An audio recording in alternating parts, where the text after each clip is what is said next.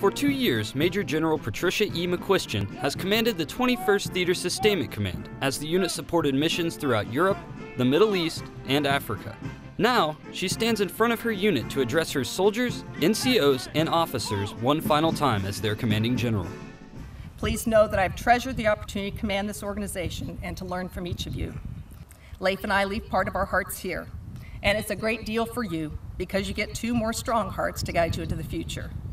And though we're kind of sad our command time is done, we know the Piggees are perfect for this command. We will always be huge supporters of the 21st TSC. Thank you all, first in support.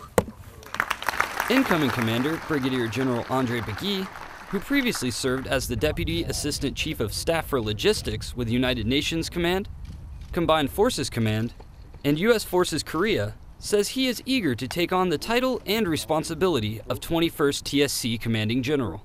The change of command is as much about recognizing soldiers as it is about the incoming and outgoing commanders. Today is no exception. You have a superb reputation, earned through excellence against every standard.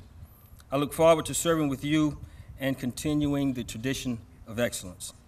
Major General McQuistion will leave the 21st TSC to become the commanding general of the U.S. Army Sustainment Command a unit charged with providing frontline logistics support to combat units. For 21st TSC Public Affairs, I'm Army Sergeant Collin Black, Kaiserslautern, Germany.